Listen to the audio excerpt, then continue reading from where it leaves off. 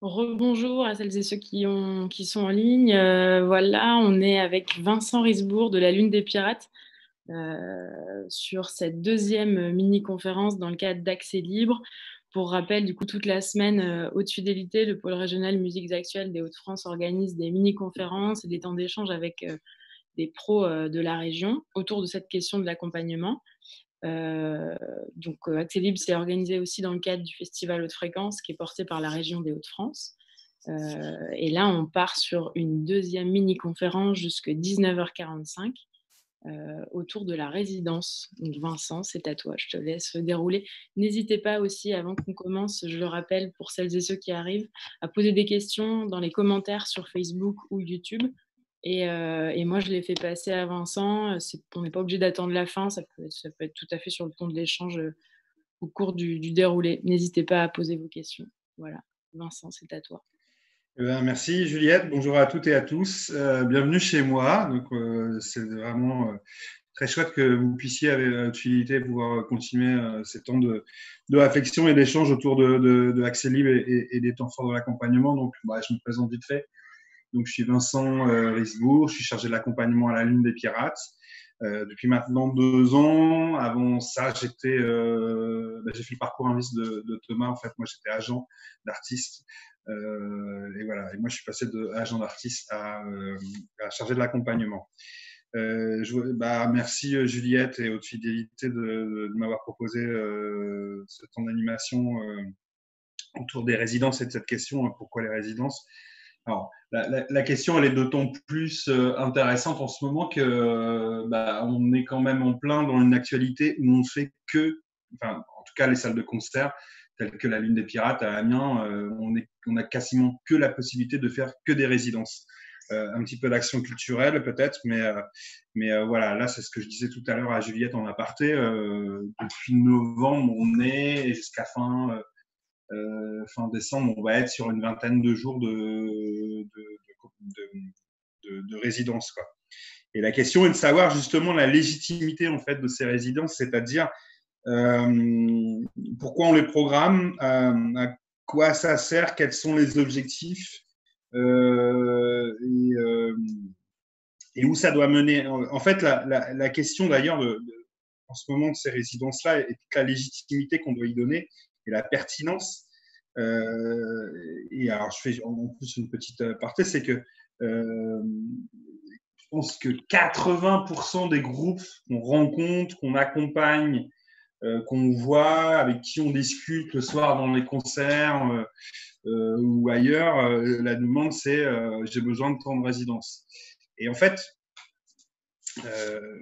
faire une résidence pour faire une résidence, c'est-à-dire juste se retrouver et euh, est-ce que ça joue euh, sur un plateau euh, avec une scène et une diff? Je pense qu'une salle de répète, ça suffit largement. là, on a l'opportunité, lorsqu'on demande une résidence, d'avoir plusieurs choses qu'on ne peut pas avoir dans une salle de répète. en l'occurrence, c'est d'avoir de l'emplacement scénique, c'est-à-dire comment on va se positionner sur un espace scénique, d'avoir un système de diffusion, un vrai système de diffusion. Je prends un exemple tout bête, mais lorsqu'on a la possibilité d'accueillir en résidence un artiste hip-hop, euh, un artiste hip-hop ou pas, quoi, d'ailleurs, mais euh, on a très souvent la, pas la surprise parce que maintenant on s'y attend, mais d'avoir des productions qui, ne, qui ne sonnent pas en fait pour le live, sur lequel il va falloir les retravailler ensuite après. donc on va pouvoir travailler donc sur l'implantation scénique, euh, le système de son, euh, les intentions scéniques, c'est aussi quelque chose qui me semble très important. Euh, donc, on fait une sorte de coaching scénique. On va pouvoir aussi euh, travailler sur euh, des choses comme des, euh, des publics adresses, de la lumière, enfin, des, des, des, tas de choses comme ça qu'on ne peut pas se permettre, enfin, qu'on ne peut pas faire en fait en, en, studio de répétition. Et voilà, et tout ça, toute la pertinence de ça, c'est arrivé à un moment. Est-ce qu'un groupe qui euh, ne fait euh, que, je sais pas, euh, tourner que dans des bars ou des choses comme ça, a vraiment besoin de, faire une résidence. Bah, après, encore une fois, je pense que à la fois il y a les objectifs que se fixe le groupe là-dessus et que peut se fixer l'accompagnant, le chargé de l'accompagnement. là-dessus. OK, pour aller où Et il y a une chose qui me semble assez importante, c'est de savoir que à mon goût, et ça reste mon point de vue euh, personnel, mais je pense que euh, la résidence euh, n'est pas une cause de la professionnalisation ou de l'envie d'aller plus loin en musique, mais c'est plutôt, ça peut être plutôt une, une conséquence de la professionnalisation. C'est-à-dire que parfois, moi, il m'est arrivé d'accompagner des groupes sur une résidence sur quelques jours euh, et puis euh, de commencer à travailler en fait sur euh, tiens on va passer on va travailler le son on va travailler un peu lumière on va travailler enfin toucher un petit peu à tout. Et en fait à la fin de cette résidence là lorsqu'on fait le bilan avec le groupe de se dire enfin les retours que j'ai des groupes la plupart du temps c'est en fait on se sent capable d'aller un peu plus loin en fait c'est pas la, la comment dire on n'accueille pas quelqu'un parce que voilà, il est pro, etc. Et voilà, etc.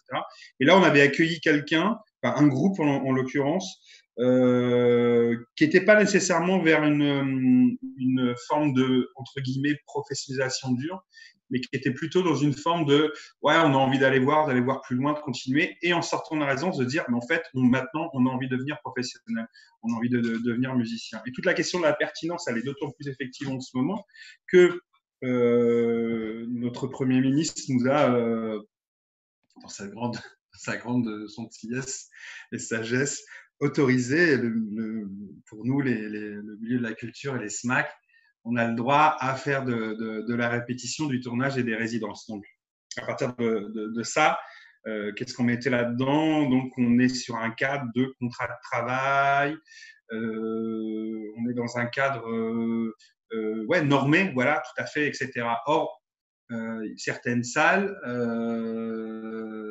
peut-être, accompagnent par moment plutôt sur de la mise à disposition, c'est-à-dire ils ne font pas de, de, de, contrat de, contrat de travail sur les, sur les, sur les résidences. Et euh, et accueil en mise à disposition, c'est-à-dire que le, groupe a une asso et voilà.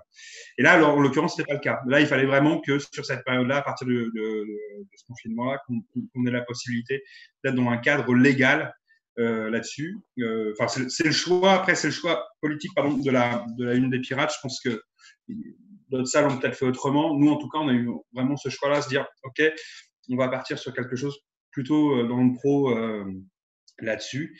Et puis une fois qu'on a fait ça, c'est d'accord, on fait des euh, on fait des contrats, donc on va engager à chaque fois euh, euh des musiciens, mais aussi des, euh, techniciens, peut-être parfois des coachs aussi sur ces temps de résidence en ce moment. Et puis on, on, va travailler quels objectifs, mais surtout quelle pertinence, avec qui on travaille, etc. Donc on a pris la décision pour l'instant de continuer à travailler seulement avec les groupes qui sont dans le dispositif d'accompagnement.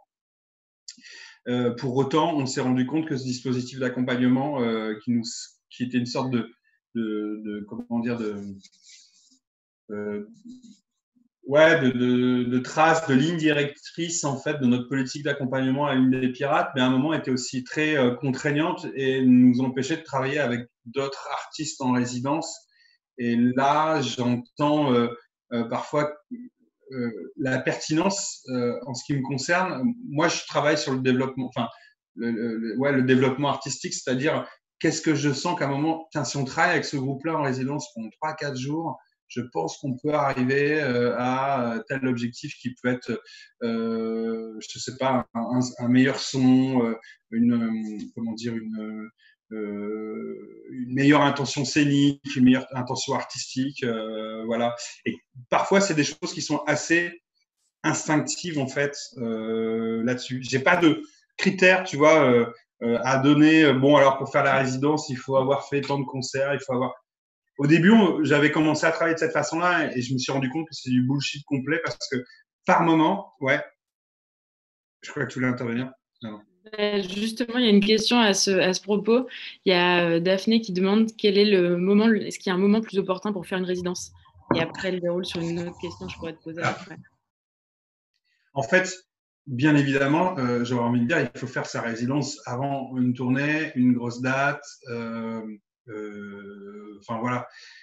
En ce moment, tu vois, nous, on accueille des, des groupes en résidence et il n'y a, pas de tournée, il n'y a pas de grosse date, etc. Et en fait, il y a une chose aussi euh, qui est euh, importante à faire, c'est que je pense que des fois, dans, dans ces résidences-là, quand tu restes longtemps à travailler, travailler fort, dur, etc., il y a après un moment où tu matures, en fait, cette résidence-là. On a accompagné l'année dernière un, excellent groupe, je vous conseille l'écoute de, de, ce groupe-là, euh, Last Night We Kill Pineapple, qui avait fait d'ailleurs la, qui avait joué d'ailleurs au premier accès libre à, 99 bis à Wani. Et je me souviens très très bien d'avoir passé deux jours avec le groupe à, euh, à travailler les intentions, le, comment dire, les, enchaînements de morceaux. Parce que c'est, moi, je les adore, mais c'est un groupe qui était capable de faire. Bon, alors maintenant, on va jouer le morceau qui s'appelle Pim Bim Bim. Et puis après, maintenant, on va jouer le morceau qui s'appelle Bim Bim Bim. Et j'aurais dit, ouais, les gars, présenter tous les morceaux, c'est peut-être un peu. Euh... Donc peut-être essayer de le faire de cette façon-là. Tu vois, on avait travaillé sur les intermorceaux et voilà. Et en fait, six mois après, je les vois en concert et, euh, et, et, en fait, ils refont exactement la même chose je me dis, merde, mais putain, en fait, on, a bossé deux jours pour rien, quoi, en fait. Mais en fait, euh, pas du tout. En fait, ils avaient récupéré d'autres choses. Ils ont, ils ont pris le temps de maturer euh, ce qu'on avait vu ensemble. Et ensuite, euh, ils ont gardé ce qu'ils avaient envie de garder. Et ça, c'est hyper important euh, là-dessus. Et euh, voilà. Et les gens, j'ai envie de dire, les professionnels qui ont vu et le public même qui ont vu la Snatch Week Pineapple ce soir-là ont, trouvé le concert excellent et c'était à leur image d'ailleurs enfin voilà un peu le bordel mais ultra sympathique des super intentions et puis voilà donc pour reprendre à Daphné là-dessus le moment c'est pour revenir à la question de Daphné déjà, il faut pas euh, prendre la résidence comme un temps de répétition. Il faut les, les morceaux, il faut les, euh, les connaître énormément. Il faut déjà, moi, j'incite énormément les groupes qu'on accueille en résidence de dire essayez de répéter trois, quatre jours avant bien tous ensemble les titres, vos titres, etc. pour que ça soit pas un temps de, de répétition, le temps de résidence. C'est un temps où il faut bosser autre chose. C'est un temps, comme je disais, on a un plateau avec un système de diff, avec une installation particulière, avec un ingé son qui va travailler en façade, etc. Euh, donc ça, ça me semble, ça me semble ultra, euh, ultra pertinent. Et puis, euh, et puis à quel moment, à quel moment le faire? Ben oui, c'est le mieux, c'est vrai, c'est d'être juste avant peut-être une tournée, une grosse date, etc. Même si là, c'est pas le cas. Euh, et ben c'est toujours quelque chose tips qu'il faut choper, maturer, prendre le temps de se dire faut la digérer, hein, cinq jours de, de, résidence, machin, etc. Où, tu es dans le dur faut, faut digérer, il faut prendre le temps de, de, de voir tout ça. Et, euh, et voilà. Et d'ailleurs, parfois, je fais juste encore un petit truc. Euh, mais, euh, il peut y avoir une résidence pour pas nécessairement travailler du live, mais certaines de nos salles, et nous en l'occurrence c'est le cas, on est euh, équipé pour faire euh, de l'enregistrement et certains groupes ont besoin, avant de partir en studio, bah, de faire ce qu'on appelle des pré-prod, tu vois. Et on se dit, bah, voilà, on s'installe, là vous n'avez pas de studio, vous pouvez faire ça, bah, nous on peut vous accueillir de cette façon. Ok. Euh, pour dérouler aussi sur une autre question, euh, est-ce que toi, tu aurais des conseils à donner un peu sur des configurations type de résidence en termes de durée, d'objectifs et de moyens déployés? Euh, Alors, ouais, ouais. déjà, je pense que deux jours minimum, ça me semble vraiment le minimum, enfin, tu vois, à faire. tout simplement parce que déjà, tu sais que pendant une demi-journée, tu vas avoir l'installation à faire. Bon, après, tu as les installations qui sont beaucoup plus simples à faire que d'autres. Là, je prends l'occurrence ce week-end. On a fait une résidence avec les groupes, les trois groupes du premier niveau de Objectif Lune. Donc, en fait, on avait 1, 2, 3, 4, 5, 6 personnes sur le plateau. On avait euh, un patch à 28 entrées. Voilà, ça a pris largement toute une matinée euh, par rapport à ça. Donc déjà, il y a déjà sur les deux jours, il y a déjà une matinée de prix à ça. Ensuite, euh, alors là, c'est des façons de travailler qui sont, qui sont différentes. Moi, j'aime bien, en gros, je demande au groupe qu'on travaille et que je suis, que j'interviens dessus, de faire le premier morceau de leur set, le dernier morceau, puis le morceau qui leur semble le plus fort. On filme, on regarde, on débrief et après on regarde ce qui a bossé. Euh, la même façon, je rejoins vraiment Thomas, Thomas Blancard tout à l'heure qui le disait. Euh, il n'y a pas de directif là-dessus, il y a plutôt de du questionnement. Et euh, moi, je, je, reprends ça de la, ma formation au collectif RPM, hein, qui est le, collectif qui forme justement pas mal de chargés de l'accompagnement et de coach scénique, euh, qui est une excellente formation. Euh, on, on, on, on, se pose en tant que public professionnel. Qu'est-ce que le groupe veut, euh, qu'est-ce que le groupe veut donner comme énergie, comme sentiment, comme émotion, et qu'est-ce que moi je, reçois? Est-ce que c'est, est-ce qu'on est bien en accord tous les deux? Si on n'est pas en accord, qu'est-ce qu'on doit bosser ensemble quoi? Voilà. Donc la question, Juliette, c'était ouais, combien de temps minimum? Donc voilà. Moi, je pense que deux jours, c'est vraiment le minimum. Après, pour un groupe qui n'a jamais fait de résidence, je serais tenté de dire euh, partez pas tout de suite dans cinq jours de résidence plein parce que c'est très, très, très fatigant. On dirait pas comme ça, mais euh, euh d'être toute la journée, euh, en gros, sur, je sais pas, des temps de travail qui peuvent être 10, 13, 14, 18, dans du son, dans de l'attention. Enfin voilà, c'est plus fatigant qu'une répétition, hein, une, un temps de résidence. Donc, les groupes qui n'ont jamais fait de résidence, deux jours, c'est déjà c'est pas mal. Et puis arriver euh, dessus, c'est déjà, oui, bah, déjà plusieurs euh, heures, plusieurs jours de, répétition derrière que les morceaux soient euh, très carrés et qu'on passe le temps de résidence, non pas de la répétition, mais, mais à, vraiment, à vraiment du scénique. Je ne sais pas si j'ai si bien répondu à la question. ça, ça, réagit, ça semble, ça semble confirmer l'intuition. Euh, il y a une question qui est posée, euh, donc là c'est plutôt une question qu'un conseil. Si la résidence n'est pas faite pour la répétition, à quel moment la répétition pourra être rémunérée? Alors, si, si, je, vois, je vois tout à fait le, truc. En fait, les répétitions, la plupart du temps, les résidences, pardon, la plupart du temps sont euh, rémunérées en cachet de répétition. La, le studio de répète, euh, à partir du moment où on a un groupe qui a un producteur, etc., normalement, lorsqu'on travaille ça, ça devrait être aussi euh, rémunéré. C'est pas le cas la plupart du temps parce que, enfin voilà, c'est une sorte de. Déjà, il y a peu de groupes qui sont capables d'avoir un producteur qui euh, rémunère les, les, les, répètes. Ça peut arriver, hein, mais c'est en, en général, c'est des gros les, gros producteurs, les gros, les, gros groupes, quoi, enfin très connus, on va dire. Avec, euh, euh, et, voilà quoi. Donc voilà la différence qu'il y a à faire un petit peu euh, entre ça. Après, si euh, vous voulez vous faire des cachets de répète sur des temps de, répétition et vous avez la possibilité de le faire, c'est tout à fait euh, applicable. C'est pas du tout euh, les mêmes montants de cachets. Il hein. faut, revenir sur les, conventions. Alors j'ai parlé un petit peu les conventions en fait syndéac hein, là-dessus entre cachet de répétition et cachet de représentation, c'est pas du tout la même chose. Ok. Je ne sais pas si vous avez d'autres questions, n'hésitez pas là dans le fil. Une réaction, c'est hyper important, ça permet de faire en vrai les choses qu'on a en tête.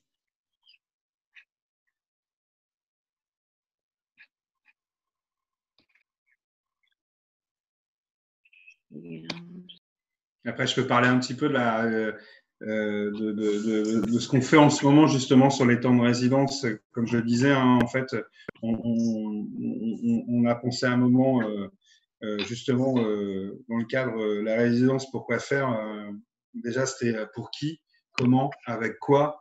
là, on nous donne l'opportunité de le faire bah, parce que tout simplement, on n'a pas de, date de concert de prévu, qu'on a la salle de livre. Et puis, dans ces cas-là, on se dit vraiment, bah, voilà, il faut en profiter, il faut donner l'occasion aux musiciens et aux musiciennes d'aller jouer, de pouvoir tester des choses. et voilà, quoi.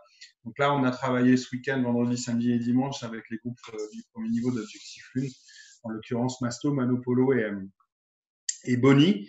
Et, euh, on est parti sur quelque chose qu'on n'avait jamais fait avant, c'est-à-dire une sorte de mini résidence de création avec trois groupes, trois formations qui se connaissaient quasiment pas et qui, voilà, qui devaient un petit peu se découvrir et, et, et peut-être essayer d'imaginer à faire de la musique ensemble.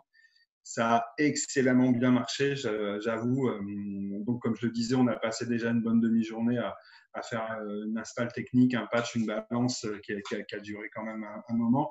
Et ensuite, à partir de. Alors, moi, j'avais décidé de ne pas travailler là-dessus après discussion aussi avec le groupe, de pas de manière dirigée, c'est-à-dire de laisser un petit peu les trois groupes se, j'allais dire, se, sentir un peu sorniflets. tu vois euh, pour savoir un peu comment les uns marchaient euh, par rapport aux autres. Le process de création, il est complètement différent dans un groupe comme euh, Masto que dans Manopolo ou que dans Bonnie. on est sur un groupe qui fait un trio qui fait ce qui est plutôt soul blues. Manopolo, c'est plutôt un duo, on va dire, euh, néo-soul un peu hip-hop. Et euh, Bonnie, c'est plutôt hip-hop euh, aussi. Enfin voilà. Donc on est sur trois, trois personnalités en, règle générale assez différentes. Et, l'idée, c'était bah, ok, vous allez jamais pendant une journée, et pendant une journée, tout ce que vous allez faire, on va l'enregistrer et après une journée, on va sortir les sons et on va voir ce qui est intéressant et à écouter. Ouais, Juliette. il y a une question qui arrive. Est-ce que tu penses qu'il y a des groupes qui s'enferment un peu trop dans le schéma de la résidence à tout prix au détriment de la prise de risque et de la création bah, J'ai déjà vu ça je, euh, de groupes qui facilement euh, euh, va faire de la résidence, résidence, résidence, résidence, déjà parce que c'est payé, ça se fait des cachets et puis après. voilà, je pense qu'en effet, c'est pas le... En fait, ce qu'il faut pas oublier là-dessus, c'est que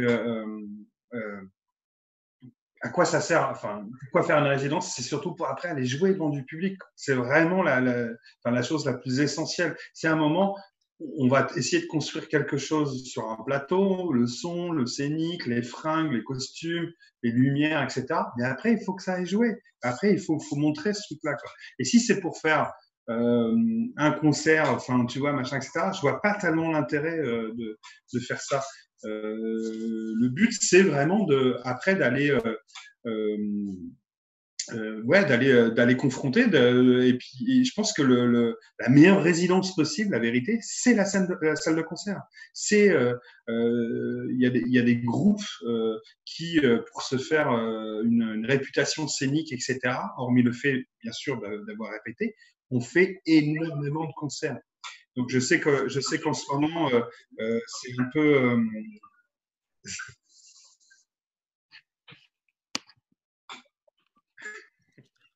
Romain Romain, on t'entend.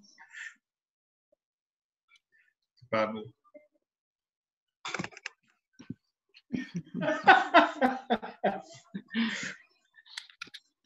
Je sais pas si. Je lui ai dit, je ai écrit. Ok. Donc, euh, c'est bon, Romain? Tu peux poursuivre, Vincent, je pense. Ouais, je. Euh... euh, je ne sais plus où j'en étais. Euh... J'ai perdu le fil. Je ne sais, je sais plus non plus. Sinon, j'ai une autre question qui est tombée. Euh, jusqu'où peut-on aller dans une euh, peut-on aller une résidence euh, d'un groupe ou d'un artiste dans le projet d'une salle? Action culturelle, création, échange avec les usagers. Jusqu'où peut aller une résidence pardon d'un groupe? Après, c'est un peu la finalité, l'objectif de la résidence. Ça va dépendre encore une fois d'un peu entre guillemets les missions, les dispositifs et la politique de la salle on peut très bien, euh, nous en l'occurrence, tu vois, sur la, résidence, on s'est dit, bah tiens, si on poussait euh, euh, cette résidence de trois jours avec ces trois groupes qui se connaissaient pas, qui ont sorti cinq déjà morceaux hyper bien, à se dire, bah, est-ce qu'on pourrait pas essayer de faire une autre résidence pour l'enregistrer et puis une autre résidence pour préparer un concert et puis de faire un concert. pour de l'action culturelle. moi, je pense que c'est pareil. voilà, en termes d'action culturelle, parce qu'à un moment, le public, parce qu'il ne faut pas oublier un truc, c'est qu'un musicien, une musicienne, euh, un groupe, en fait, ça n'existe pas euh, s'il n'y a pas du public en face de soi. Donc, d'où l'importance, justement, encore une fois, d'avoir toujours, d'être toujours en se disant, euh, je fais de la musique pour qui? Pour mon public qui est en face de moi. Et inversement, d'avoir l'opportunité à un moment sur ces résidences d'inviter du public, de dire venez voir comment ça se passe, venez voir comment les musiciens travaillent, venez voir comment les musiciennes travaillent, venez voir comment les techniciens et les techniciennes aussi travaillent en venez voir que c'est du travail, que c'est pas du, euh, que c'est pas des, euh, des, cigales qui, euh, qui font un peu n'importe quoi, qui fument des clopes et boivent des bières toute la journée. Non, c'est faux. Il y a, c'est énormément de travail et je pense que ça, ça peut être aussi, enfin, c'est, c'est, c'est quelque chose qui me semble ultra intéressant de, de, faire, de montrer, voilà, par rapport à ça. Je sais pas si je réponds bien correctement à la question là-dessus. Mais ouais, ouais, mon point de vue, il est là. C'est que la résidence, ça peut être, elle, peut avoir différentes euh, opportunités, utilités autour de, autour bien sûr de, du rendu de concert, mais aussi de, de, de pré-prod en vue d'enregistrement de morceaux, d'accueil de, public en action culturelle. Nous, en plus, à la Lune des Pirates, on a, on a un dispositif de création qui s'appelle la création de la Lune. On a bossé pendant deux ans avec une artiste chez nous qui s'appelle Eleanor Shine et on a travaillé à la création d'un spectacle jeune public et en y intégrant justement un caractère entre guillemets action culturelle, mais on l'a pas fait. il faut être vigilant là-dessus. En mode, on fait un spectacle à côté, en plus on peut proposer l'action culturelle. Non, non, on a vraiment essayé de lier les deux euh, avec un, un, un, caractère inclusif en faisant sourd et malentendant, donc en y mettant euh, du chant-signe, euh, d'animation, enfin des tas de choses comme ça. Comme. Et euh, bah voilà, c'est qu'au moment de la création, au moment où on travaille euh, quelque chose, qu'on se rend compte euh, euh, de, des opportunités et des possibilités de, de ces temps de création. Tout à l'heure, tu disais que ça dépendait aussi de la politique de chaque salle qui accompagnait des artistes accompagnés par la salle ou non. Peut-être question un peu bateau, mais comment on peut, comment on décroche une résidence? Et tu parlais, tu l'as un petit peu esquissé tout à l'heure. Comment tu la prépares? Est-ce qu'il y a des plannings à faire, il y a des objectifs à se créer? Est-ce que peut-être tu peux préciser un peu ces deux idées? Oui, tout à fait. Alors, euh, en ce moment, je pense que pas mal de salles, c'est notre cas, donc j'imagine que c'est le cas pour d'autres salles, ont, des opportunités ont du temps possible là-dessus. Euh, donc pour le coup, on a pas mal de demandes. En, en l'occurrence, moi j'ai eu pas mal de demandes là-dessus. Donc au moment il faut faire des choix. Quand il faut demander à avoir une résidence, eh ben, je pense qu'il faut être le plus pertinent. Déjà, il faut être le plus réaliste possible soi-même avec son projet artistique. Dire, voilà, euh, moi, j'ai vraiment besoin de me retrouver sur un plateau parce que là, il faut vraiment que je travaille des niveaux de ma prod, où il faut vraiment que je travaille. À un moment, je sais que sur les, mes intermorceaux, je suis mauvais. Mes publics adresses, je ne sais pas quoi dire. Il faut que je bosse ça avec quelqu'un, etc. Voilà. En fait, il faut lister euh, un peu tout ce qui dans son live et qui pourrait être bossé justement euh, là-dessus. Et j'ai envie de dire, n'hésitez pas à le faire. Je sais que euh, nous, dans le cadre de l'accompagnement, on a fait une newsletter pour euh, un petit peu reposter le, la, session live qu'avait fait Masto, un des groupes qu'on accompagne à la Lune durant le Crossroad. Donc j'envoie moi une newsletter là-dessus. J'ai eu un nombre incroyable de réponses sur la période de confinement parce que tout le monde est devant son, euh, son, son, son ordi et a envie de répondre à des choses. Quoi. Euh, donc, faut pas hésiter à, le faire euh, là-dessus.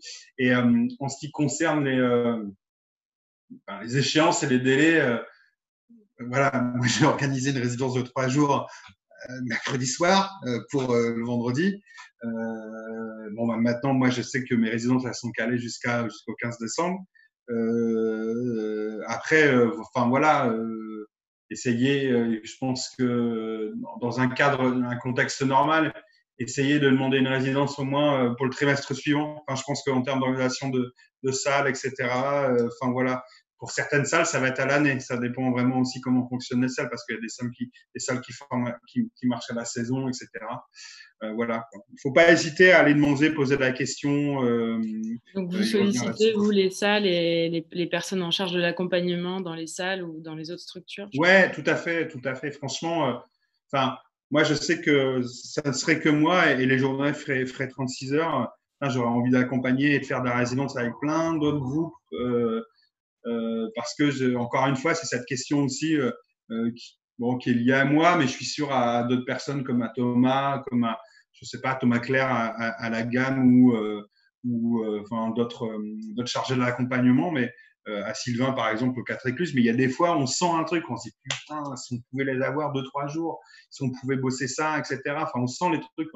Donc faut pas hésiter. Euh, voilà, déjà faut pas faut pas hésiter à montrer ce qu'on fait euh, à envoyer régulièrement. Peut-être que c'est pas lu, peut-être qu'en effet, euh, tout à l'heure, Nicolas le disait, euh, on, a, on, reçoit beaucoup de mails, machin, etc. Bah, moi, en l'occurrence, moi, en tant que chargé de l'accompagnement, mon, mon, taf premier, en l'occurrence, c'est quand même voir ce qui se passe un peu, de, enfin, tu vois, autour de moi, sur la scène locale, etc. Et je suis toujours un peu en train de stocker euh, sur les réseaux, machin. Je posais des questions un peu façon Stasi, tu vois. Ouais, tu fais quoi en ce moment euh, T'enregistres des trucs, nanana. Et c'est parce qu'en fait, je suis curieux, j'ai envie de voir, ah, putain. Et des fois, on s'imagine des choses. Donc, il faut pas hésiter à donner des news, même si des fois, il n'y a pas de réponse.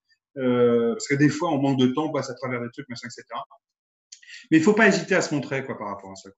Et justement, euh, au, niveau des, au niveau des critères euh, un peu de, sélection, en tout cas, pour les, à, quel moment on peut demander une résidence? Est-ce que, par exemple, ça peut aussi déclencher, ça peut être un début, une résidence, ça peut être le, le, début d'une création, d'un travail Est-ce que toi, tu as un avis là-dessus C'est justement ce que je te disais tout à l'heure, Juliette. En fait, à l'heure actuelle, on a tous plus ou moins dans les SMAC créé des dispositifs d'accompagnement et des accueils en résidence en mettant des critères. Ces critères sont normaux et nécessaires parce que euh, ça permet de se dire on va pas travailler avec le avec le mec en amateur machin euh, mais qui en fait fait que du enfin je sais pas que que des concerts pour sa famille, machin, etc. mais encore, même ça, je trouve que ça pourrait être intéressant. Euh, enfin voilà, il faut quand même qu'on, euh, que ça soit justifié, pertinent, pertinent dans le développement professionnel de l'artiste, pertinent dans l'épanouissement de l'artiste, des, tas de choses comme ça. Donc on s'est mis en place en fait ces critères, etc.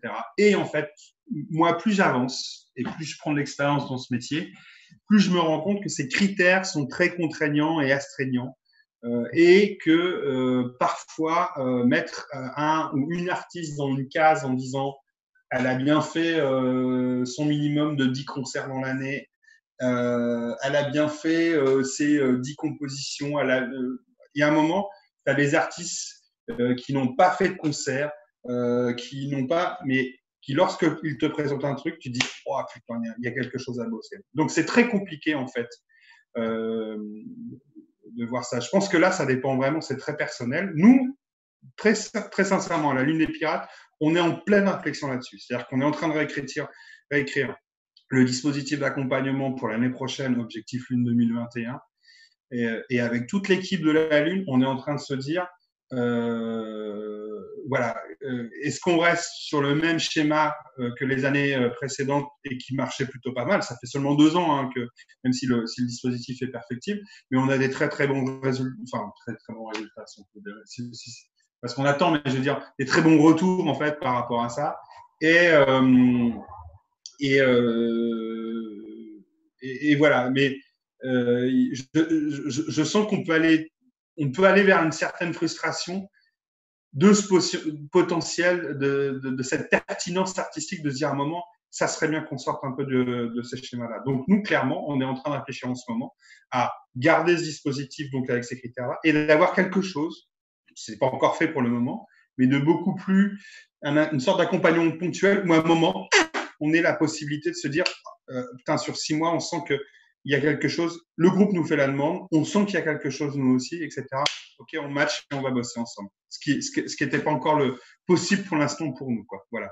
Voilà. Il faut euh, après, euh, euh, faut pas oublier que tout ça est fait quand même aussi avec de l'argent public, donc il faut qu'on rende des comptes, euh, tu vois, à, nos bailleurs euh, publics là-dessus. il faut aussi que on soit complètement transparent hein, sur notre démarche d'accueil de résidence et que on fait pas bosser les copains, quoi, tu vois. Euh, euh, c'est vraiment, à un moment, on se dit, tiens, on a vraiment euh, l'envie de faire quelque chose parce qu'on sent que. Et il faut que le groupe, après, soit aussi, comment dire, acteur de sa résidence, tu vois. Ça, c'est aussi un autre truc qui est important à dire, c'est un moment, être acteur de sa résidence. C'est pas arriver d'être devant avec sa guitare et sa basse et dire, bon, je fais quoi Je joue Non, non, il y a un moment, il faut se dire aussi, il faut que le mec pose des questions. Il faut dire, moi, j'ai envie de faire ça comme ça, mais j'arrive pas à l'exprimer, machin, etc. Enfin, voilà, quoi. Euh, comme le disait Thomas euh, tout à l'heure, et c'est très, très vrai dans, dans, dans, dans ce métier d'accompagnement, ça, ça passe comme ça. C'est vraiment le chargé de l'accompagnement, la chargée de l'accompagnement, le musicien ou la musicienne, et ça fait que ça, quoi. Et moi, je reçois, j'apprends, je change, et inversement, pareil pour l'autre côté, quoi. On est sur un principe de mentorat qui est très, très, très, très, très fort là-dessus. Ok. Ben, merci. Euh, je pense qu'on touche à bout de cette euh, bonne demi-heure euh, de discussion. merci à toi, Vincent, d'avoir pris du temps pour venir discuter avec nous. Merci à celles et ceux qui étaient là et qui ont posé des questions. on se retrouve mercredi pour la suite du programme, mercredi à 18h30 pour une mini-conférence autour de la fiche technique. Avec Sylvain, qui est chargé de l'accompagnement aux quatre écluses. Et à la suite de cette mini-conférence, il y aura une deuxième mini-conférence autour de l'entourage. Que des numéros 10 dans mon groupe, à quel moment on s'entoure, comment, de qui, avec Louise de Artichaut Production. Voilà, et ben on se retrouve mercredi. Et merci à toutes et tous. Bonne soirée. Salut. Salut.